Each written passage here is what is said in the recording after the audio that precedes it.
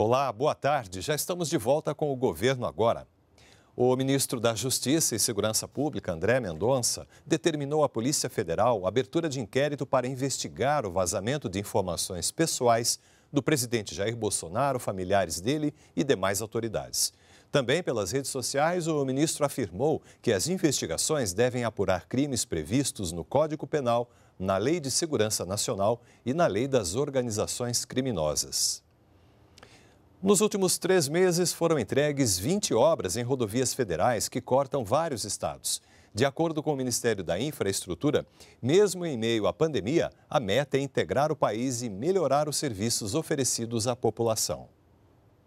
O trecho de 32 quilômetros que liga o município de Itupiranga a novo repartimento no Pará foi entregue no último fim de semana. Outros 90 quilômetros já estão prontos. De acordo com o DENIT, até novembro deve ser concluída a pavimentação dos últimos 12 quilômetros desse trecho da rodovia Transamazônica, considerada uma das mais importantes do país. Ela tem hoje já implantado 4.200 quilômetros, iniciando em João Pessoa, na Paraíba, atravessando a região Nordeste, a região Norte, chegando até o município de Lábrea, no Amazonas. Ela tem uma importância socioeconômica impressionante, trabalhando ali com a logística e também na, atendendo a parte social do nosso país. De março a maio deste ano, durante a pandemia, foram entregues 20 obras de construção e manutenção nas rodovias federais em vários estados. Na BR-116, no Rio Grande do Sul, por exemplo,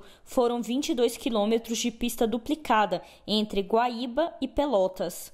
Em Roraima, mais de 43 quilômetros na BR-432 foram pavimentados e na BR-367, em Minas Gerais, foi feito o reforço e alargamento da ponte sobre o rio Araçuí.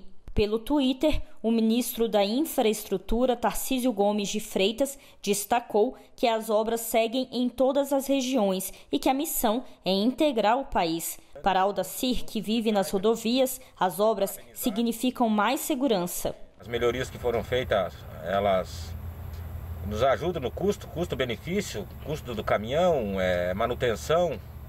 Tá? Você tem uma viagem mais tranquila, com mais segurança tá? menos estressante, são pontos essenciais para o fluxo de carga de caminhão. A gente fica por aqui. Até a próxima edição.